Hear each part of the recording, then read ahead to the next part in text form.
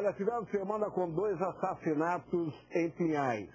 Duas pessoas foram assassinadas de semana no município de Pinhais. Olha aí as imagens. Na noite de sábado, o manobrista Fábio Vieira, conhecido como Ratinho, de 27 anos, ele foi morto com vários tiros no Jardim Cláudia. De acordo com testemunhas, dois criminosos se aproximaram de uma motocicleta e abordaram a vítima.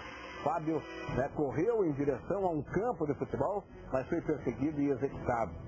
Outro crime aconteceu na madrugada de ontem, onde um jovem de aproximadamente 19 anos, ainda não identificado, foi assassinado com dois tiros na cabeça, no bairro Piniville.